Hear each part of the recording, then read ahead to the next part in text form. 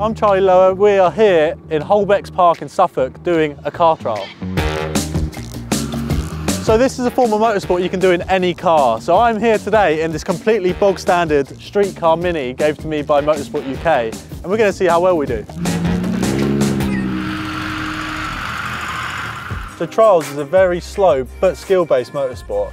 So the intentions are very simple. You've got to go as far as you can without stopping and without hitting a marker.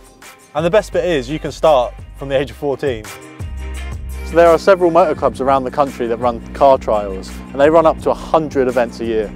Today we are taking you through our first kind of experience and giving you a bit of an eye-opener and what to expect when you turn up to your first ever trial and how much of a challenge it is for your road car.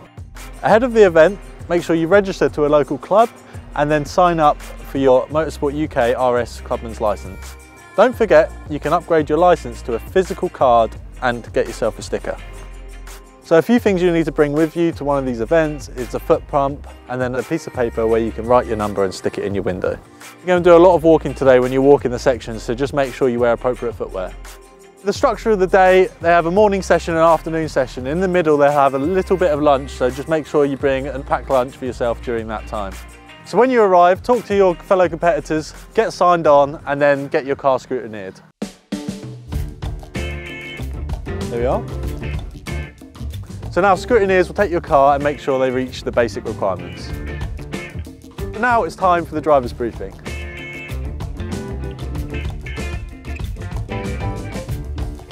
So we have just passed scrutineering, we've done noise tests, so it's time to hit the hills. This car is so funny. The aim today is to get as far through these courses as possible. There's gates numbered between 12 and 1 and you basically want to get as far along as possible without stopping. If you manage to go all the way through you get zero and the aim at the end of the day is to have the least amount of points on your record. Before you start it's very important to walk the course so we're going to take a stroll around now, kind of figure out where we're going and kind of dissect the tricky bits of what is about to come. As you see behind us someone's already going. It's all about maximum attack on that hill. And they're wobbling and jumping around, trying to get the grip back on the rear wheels. No, that's it. Right, so what we are looking for when we're coming down here is the, these gates. So this one's marked number 12. So as you can see, this one's massively off camber. So you're trying to think of what sort of angle you want to approach it at to get the maximum effort up the hill. Because now we're heading all the way up there to number 10. And also, you probably can't tell in camera, but this is much steeper than you think. So the best thing about the streetcar discipline is you need no safety equipment. So you don't need a helmet, you don't need gloves, you don't need racewear. So it keeps the price right down when you're competing. So let's head to the first section. Right, so we're gonna go now. We're coming down. So we're looking for gate 12. Here it is. And now we're going for an uphill. So we've got to get a good run up. Oh! That is it, that's as far as we got. That hill was savage. Should we pretend that one never happened?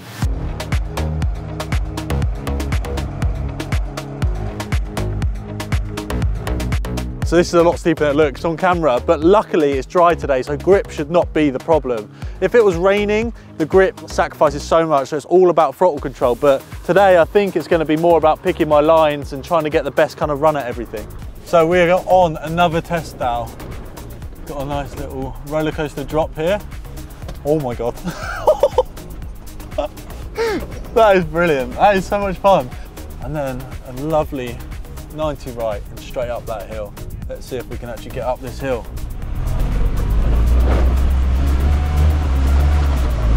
Oh no, this is no chance. We're not so bad at this. So we've just finished a few sections and it is unbelievably fun, but the locals have given me a nice top tip, and that is to let down my tyre pressures. So dropping my tyre pressures by a few PSI apparently will help me tremendously. We are here at the same stage and let's see if we can improve. Absolute maximum attack, you ready? We're going for it. We're up, we're up! This is good! It's got so much more grip now. Right, and then we'll get a nice little bit of run up for this hill. And jump. And we've done it! We come out the top! We've done it! That's so good! And we have cleared our first ever course. but what an emotional roller coaster. As well as going up and down hills, but my, my emotions inside. I didn't think it was going to be as scary as it was, but it was actually super fun. And I want to say a big thank you for the team at West Suffolk Motor Club for having me and for making me feel so welcome in this new sport that I've never tried before. So if you're interested in doing this yourself, go to the Motorsport UK website, sign up for a free license and look out for the streetcar campaign. Get yourself entered to one of these events because it is amazing. I know I'm going to do a few more of these, so hopefully I'll see you here.